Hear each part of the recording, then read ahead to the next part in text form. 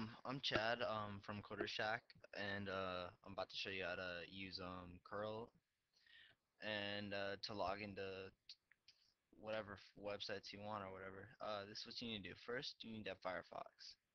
Then you're gonna need to go to um, live HTTP headers dot um,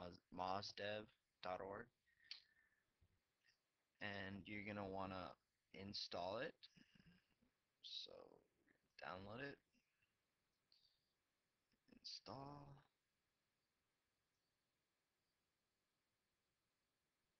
Alright, okay, next, let's see, um, we're gonna wanna go to, um, one sec. Alright, and after you have that, um, all installed and everything, you're going to, um, open up a blank PHP document, and, um, you're gonna have to look under this video, and you're gonna see, um, the two functions that I will be using in this, um, video tutorial. So here are the two functions, uh, curl underscore grab underscore page, and um, the other one is uh, curl score underscore, I mean curl underscore login. And um, we're going to use the login function. So type of it out. Okay, now it says we need a URL. So for this demonstration, we're going to use um, Secure Gamers. And let's see. Now we're going to want to open up live HTTP headers. Let me see if I can fit in here. Alright, uncheck capture because we don't want to be capturing while I show you this. Alright, and then we're going to want to do an account.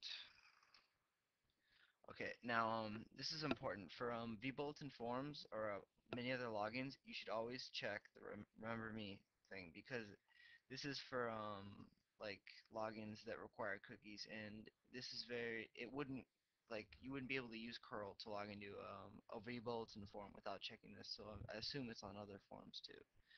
So now we're going to want to record it. So we're capturing it. Now we're going to log in alright. Now you're going to look at this. And um, you'll see that uh, up here way at top you're gonna see a URL now that is um, the URL that you want to send um, the um, headers to or whatever the post or whatever you call it. So you're gonna put that in there as the URL and then for data it's also in here. You're gonna see it right here. It's right under content length so you, whoops Okay, you want to put that right in the next field. So what, what happens is vBulletin, they actually um, put their um, login pass, the password in MD5. So JavaScript encodes the password right on submission. So it's pretty cool. Um, then for proxy, which is the third field, you don't want one, so you could just leave that empty. And then for uh, proxy status, you can just if you want, you just put off because we're not going to use it. But if you wanted to, you could just, instead of off, you could put on, and in the field before it, you could just put the um, proxy address. Alright, so now that should log you in with no problem. Now we want um, to use uh, this function, uh, curl grab page, to get a page that you wouldn't be able to usually get without being logged in. So just throw that right there. And you're going to want the URL of that page. So let's go here and let's log out. Let's find a page that you can't normally browse. Let's see. Right here. Okay, this probably you can't. Alright, it says no post. Okay, that's probably um, secured or whatever. So you're going to want to throw that URL right there.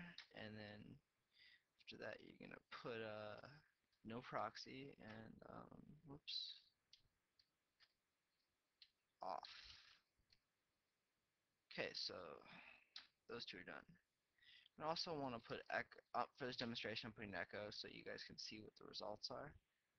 And um, I'm also going to tell you that uh, you need to have a cookie.txt file because um, when it actually logs in, it's going to write the cookies to a file.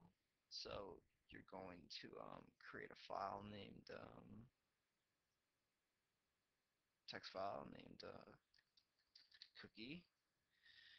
You're gonna want to go to your put your cookie file right in there.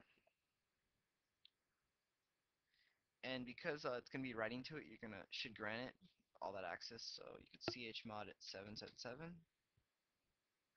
full access. And now we're going to actually looks we're actually uh, save this now. So and um, drag it in there. And let's see in action. So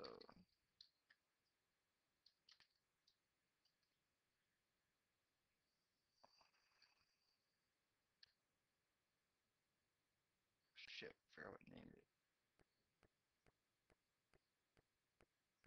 Alright, whoops.